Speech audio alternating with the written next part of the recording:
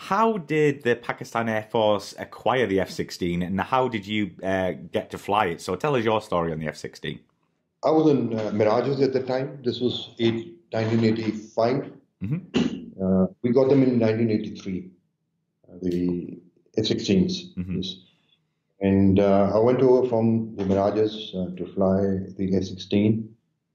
the things that struck us, you know, because we'd been flying everyone in the Air Force had been flying conventional fighters, and conventional means everything that on the F-16 was unconventional.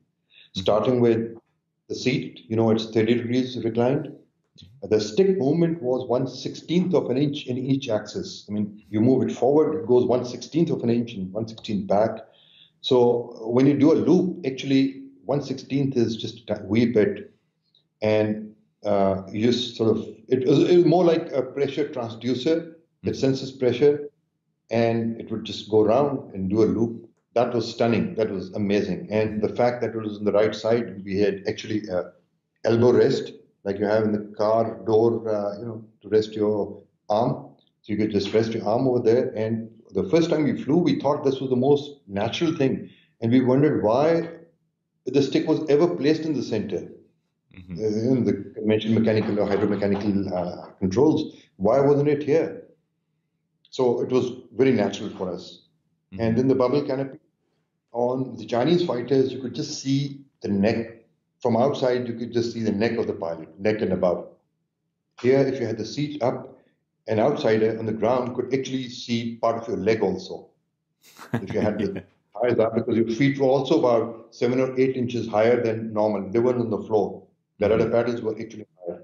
So combined with 30 degrees recline and uh, side stick and a bubble canopy, and of course, an unstable aircraft. As you know, it was unstable. Mm-hmm. Uh, the center of gravity uh, in all aircraft is ahead of the center of pressure. Here, it was behind.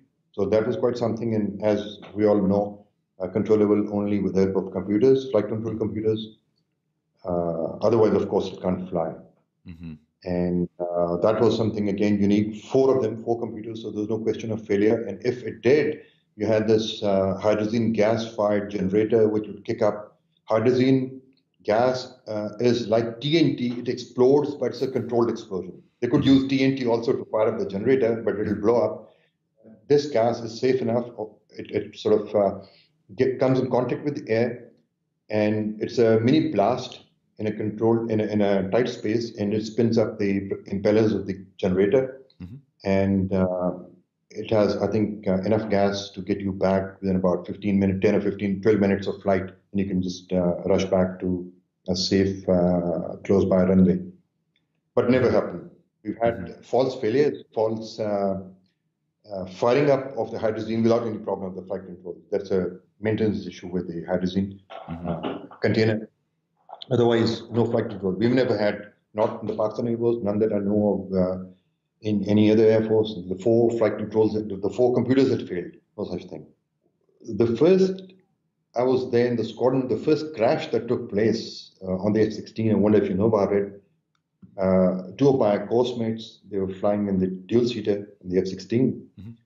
and there was a night mission, and as they rolled for takeoff, something hit the aircraft with a thud, and next, the aircraft was on fire, huge flames, and they both had to punch out.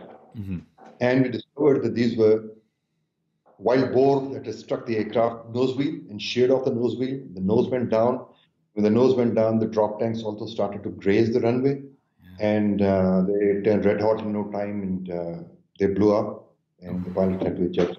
First loss, and uh, later uh, we had to build a wall around the whole base. And earlier there had been some suggestions that let's build a wall. We have uh, wild dogs and occasionally wild boars on the runway, which could be dangerous. And they said we don't have enough money. And when we lost the F-16, in one month, a wall, I think uh, 11 kilometers length, wall about six, seven feet high, all around the base was built within one month. yeah. So uh, hard way, uh, learned a lesson uh, the hard way in the F-16. Yeah. Uh, now, comparing, like I told you, comparing uh, the F-16 with conventional fighters, everything was different, just about everything. Mm-hmm. So uh, not that we had to unlearn anything, but we had to sort of learn new things which had not been seen on any other fighter mm-hmm. uh, that way. And since we were amongst the early lot at that time, 85, 86, 87, these the early years, not just in Pakistan Air Force. In fact, the American Air Force got them in, I think, 79 and 80. Mm-hmm. In fact, their squadrons were also still equipping with the F-16s like we were. Mm-hmm. So it was very modern for its uh, time. Mm-hmm. Uh, extremely safe aircraft, other than you know the, these uh, silly accidents. Mm-hmm. The few that we've had were mostly pilot factors, one or two, one disorientation, one bird head, things like that, but nothing to do with the aircraft. Yeah. Extremely uh, reliable system, the engine itself.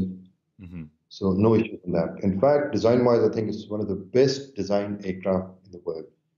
I'd, I'd say that uh, if I'd flown the Mirage 2000 or if I'd flown the F-18, these are modern. Of course, they're all viceless, very good aircraft, but then you start to have some kind of attachment with the fighter that you've flown. So uh, I, of course, love it. And I got a chance to fly uh, last year after last I flew was in 1989, 30, 30 years ago, exactly 30 years ago. And one day, the chief of staff, uh, he called me directly. He was one of my students at the academy. Mm-hmm. And he said, Sir, uh, would you like to fly? I thought he was, you know, he wanted me for some conference at the air headquarters and he was sending a special aircraft for me. Uh, I said, Yeah, okay. Uh, when, where? He says, Get your G suit and helmet ready. You're flying F 16. I said, Okay. F 16 after 30 years was quite something. But uh, this uh, aircraft that I flew was the midlife upgrade uh, mm-hmm. F 16.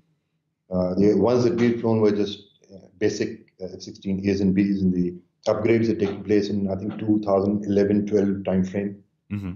So here, the capabilities were I, I, really can't sort of explain it because I haven't uh, read much about it. We had the sniper pod, we had the BVR capability, everything was data linked, uh, new uh, cockpit, new instruments, and so on. So the capabilities immensely increased. I recall that the buttons on the stick and throttle, uh, each button had one or two functions, adding up to about six or seven functions on the stick and six or seven functions on the throttle. Now there's something like uh, 20 odd on the throttle and 20 odd on the stick. And, uh, you know, at the end of the mission, I thought it was more like uh, a video game. You had to be savvy in a video game, and the psychomotor skills uh, now are the prime thing, uh, especially with the BVR capability mm-hmm. and with the data link, where you can be linked up. I mean, uh, an AWACS aircraft can pass its information down to you, downlink to you through data link you can uplink your info, your radar info, or whatever info of one of the sensors to the uh, radar flying up or the ground radar, or the ground radar can pass it on to you. And the most impressive, you can pass it on to your formation members. Yeah. Uh, you locked up your formation members, they have got the radars to stand by. So you can just lock up and pass it on as you do on your mobile phone to your number two. So number two just gets a beep and looks at the radar scope and says, ah, somebody is locked up for me, and all he has to do is just you know get his bearings right and press the uh, missile release button. So the capabilities are immense. So that's a major change. So by the skin, it's a 16, but from inside, everything is really changed. New radar, new uh, sensors, all uh, fused mm-hmm. centrally, controlled by uh, better, more powerful fire control computer. The capabilities of the same F-16 are immense, and uh, as you must be knowing, the uh, life, structural life was something like 8,000 hours initially. Mm-hmm. And after the midlife upgrade, it's 16,000 hours. So double, yeah. 16,000 hours take, I think, uh, till the end of the, this century uh, to complete. Yeah. We've had uh, Mirages flying for 60 years, uh, 50, 50, 53 years now, with a life of 5,000 hours only. So if it mm. was 16,000 uh, hours, I think we'd be stepping into the next century. Yeah, I think so. Yeah, so it's going to be around. So it's going to be around for some time.